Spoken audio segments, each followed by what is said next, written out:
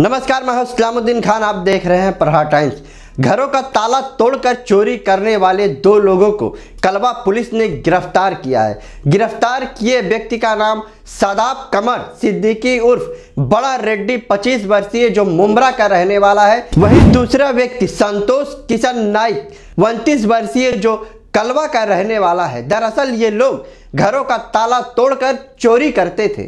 चोरी को अंजाम देने वाले इन लोगों से जब कलवा पुलिस ने सख्ती से पूछताछ की तो इन लोगों ने 12 घरों से चोरी करने की बात कबूल की। 12 घरों से चोरी हुए 260 ग्राम सोने के जेवर 400 ग्राम चांदी के जेवर मिले हैं, जिसकी कीमत 8 लाख अड़तालीस हज़ार पाँच सौ रुपये बताई जा रही है। देखिए, कोई भी चोरी करते टाइम अपना आइडेंटिफिकेशन जो है आइडेंटिफिकेशन मतलब चेंज करना, उसको जल्दी पहचान नहीं हो सके खुद की।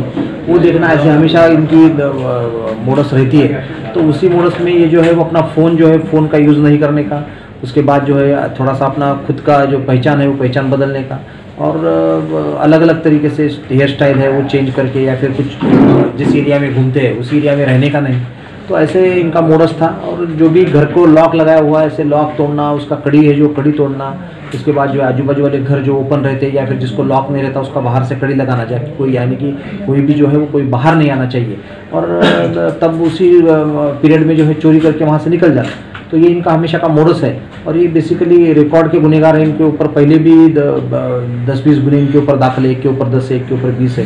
ये कुछ लोग कन्विक्शन भी कुछ लोग, उनका सजा काट के भी कुछ लोग आए हैं। तो जेल में जाने के बाद जैसे ही बाहर आएँगे तो इनका ये हमेशा का मोडस है। और थोड़ा सा जो है वो फ़ोन का यूज़ नहीं करते और कहीं बाहर जाके उसी स्पॉट पर पहले जहाँ पे रहते थे, वहाँ पे नहीं रहना। और अलग अलग जगह पर रहना, कहीं थाना से दूर भी रह सकते रहते थे। तो इसलिए पकड़ने में बड़ा, बहुत सारी इसमें दिक्कत आती थी।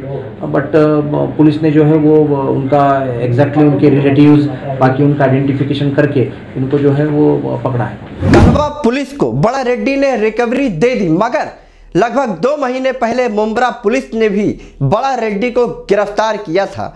उस समय बड़ा रेड्डी ने रिकवरी दी थी या नहीं, इसके बारे में जब हमने मुंब्रा पुलिस के सीनियर इंस्पेक्टर किशोर पासलकर से जानना चाहा तो उन्होंने बताया कि कलवा का मामला अलग है और मुंब्रा का मामला अलग है। यानी यह साफ़ है कि बड़ा रेड्डी ने रिकवरी नहीं दी थी।